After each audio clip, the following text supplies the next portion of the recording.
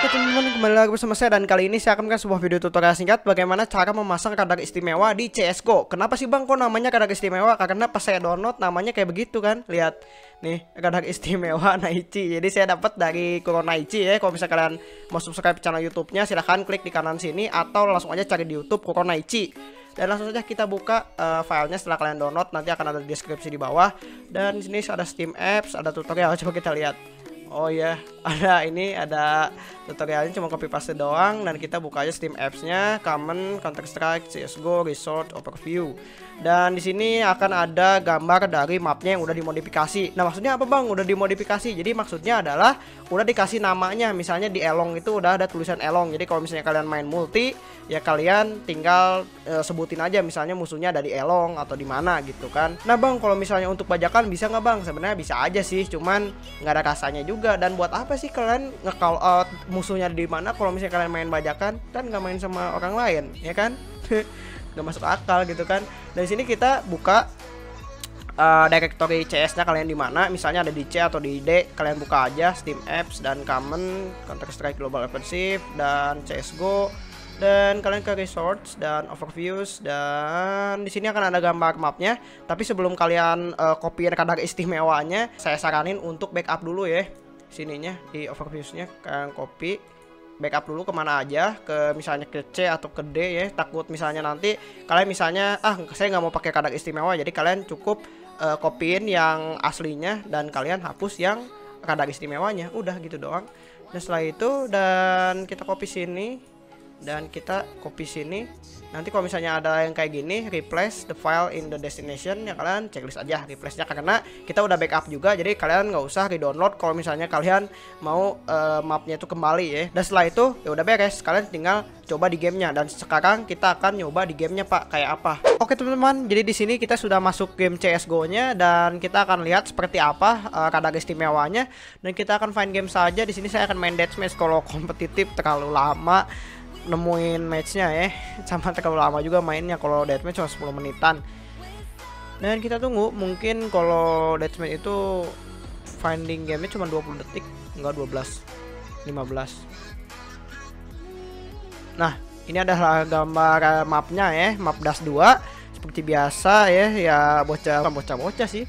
Jadi banyak banyak yang ngecheat yang smurf itu di das 2 gitu kan. Kadang-kadang nyebelin gitu kan dan kita akan tes di sini. Dan kita pilih yang CT aja lah. Nah di sini ada uh, mapnya ya. Ada gambarnya nih kan? Misalnya outside long atau long doors. Nah kalau misalnya kalian terlalu kecil atau terlalu besar kalian bisa ganti scale-nya. CL uh, radar radar scale. Scale-nya misalnya jadi 0,7 mungkin Nah itu jadi lebih kecil. Kalau misalnya nggak kelihatan atau terlalu kecil ya kalian tinggal ganti kadar uh, Scale misalnya dua. Wah lebih gede lagi pak. Lebih gede dari satu ya. Jadi biar kelihatan. Nah. Keluar kamu. Wah nggak kena. Eh? Eh kena kakinya? Kena kakinya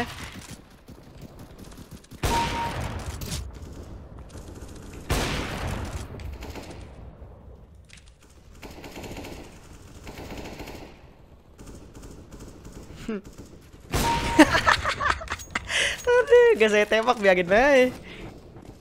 Eh, pas belakang. Waduh. Waduh, depan belakang bang. GG.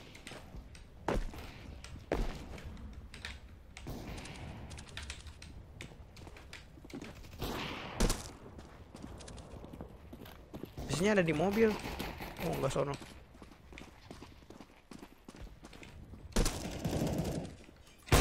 Bet.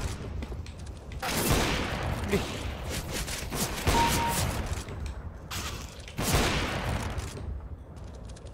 Sini ada eh, eh, eh.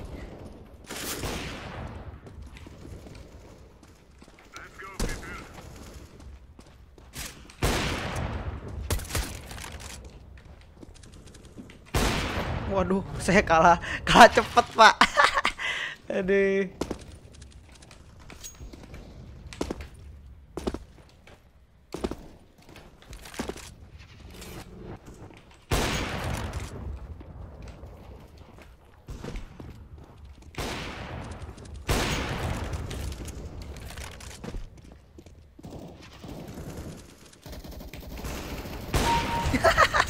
Dia kayaknya kaget.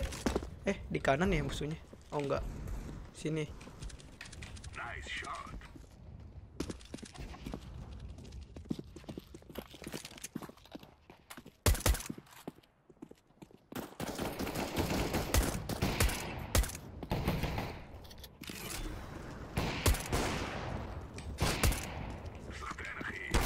Waduh.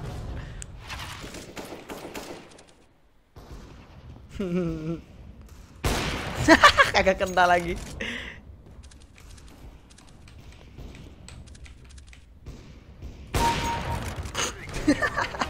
Oke lah, jadi cukup segitu doang ya testimonialnya. Seperti di kanan saya ada ada orang sini ada bayangannya sono. Lihat. Jadi jangan lupa untuk like, share, dan subscribe seperti biasa. Nama saya Gaida Tutorial Kasiat dan thanks for watching. Bye bye. Nggak bisa di drop. Waduh.